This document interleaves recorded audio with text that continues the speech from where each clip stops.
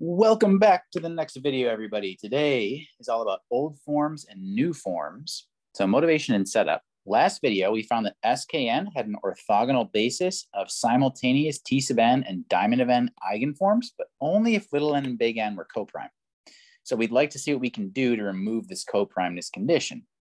So let's let M and R be natural numbers such that M properly divides N. That means M just isn't N, but it divides it.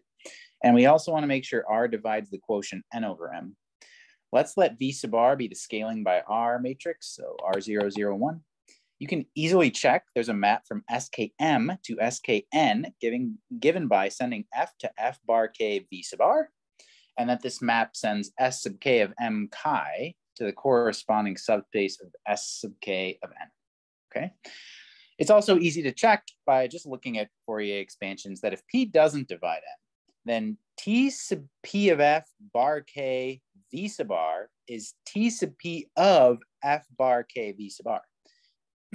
In particular, the map that I gave you up here that sends F to F bar K V sub R sends TP eigenforms to TP eigenforms. You can see that immediately from the equation here. One main motivation for introducing old forms and new forms is that this transportation of TP eigenforms under this map fails if P divides N.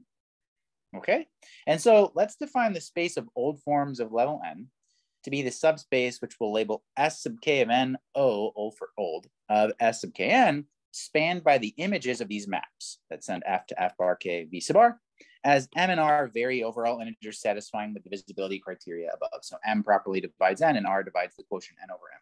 They can be thought of as forms of level M or m divides n in some sense. Okay, they're old, they come from a different level, right? And so a, a fancy way of saying this is that S sub k of NO is the span of the union over all m properly dividing n, of the union over all r dividing n over m, of the sets f bar k v sub r, where f is an S sub k and n. Okay. And here's where things get you have to remember this definition that I'm about to give you because otherwise you're going to think an old form is just anything in S sub k of NO when it's not. A Hecke eigenform in S sub k of NO is called an old form of level n. So we're not just going to call generic elements of S sub k of NO old forms. We're only going to call Hecke eigenforms old forms. Okay, what's a new form? It's essentially anything that's not an old form. More precisely, the space of new forms of level n, written S sub k of n like superscript n, n for new, is the orthogonal complement of S sub k of n o relative to the Petersson inner product. This is why it was important to discover that there was an inner product on S sub k of n, so that we can take the old forms and look at their orthogonal complement and call those the new forms. A Hecke eigenform living in S sub k n n is called a new form of level n. So again, not just any generic element of S sub k n n is going to be called a new form, only the Hecke eigenforms living there. If we have a normalized new form of level n, we'll call that a primitive form of level n. We'll denote prim sub k of n to be the set of primitive forms of weight k and level n. And so a crucial proposition, S sub kno and S sub knn are both stable under all the Hecke operators T sub p and all of the diamond operators diamond of D, where D ranges over Z mod and Z cross. And this is proven in probably Diamond and Shurman chapter five, but also CSS chapter three. And so theorem so this is where we're going to get our basis from. This is where we're going to remove that coprimeness condition mentioned at the beginning of the video. Prim sub k of n is a basis for S sub k of n. In particular, the union overall m properly dividing n and r dividing n over m of all the f bar k v sub r's for f in prim k of m is a basis for S sub k of n. Okay, so this is fantastic. So sort of all of the various images of primitive forms form a basis for S sub KMN under those maps discussed earlier. Okay.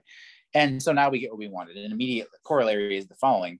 The condition that little n and big N be coprime can be removed from the corollary ending the previous video, or that was discussed at the beginning of this video, provided we work in S sub k n n. In other words, S sub k n n has an orthogonal basis of Tn and diamond of n eigenforms for all n, not just for all n coprime to big N. This theorem and its corollary that we just got finished discussing, these are hard results, and mainly because they require something called the main lemma, which is a tricky result. I would see DS chapter five and CSS chapter three as usual for discussions about this. Okay. And so next video, we will tie all of this information about new forms and old forms in to the conjecture we were talking about several videos ago that had to do with L functions. And we'll see that these F bar K W Ns actually do have L functions attached to them.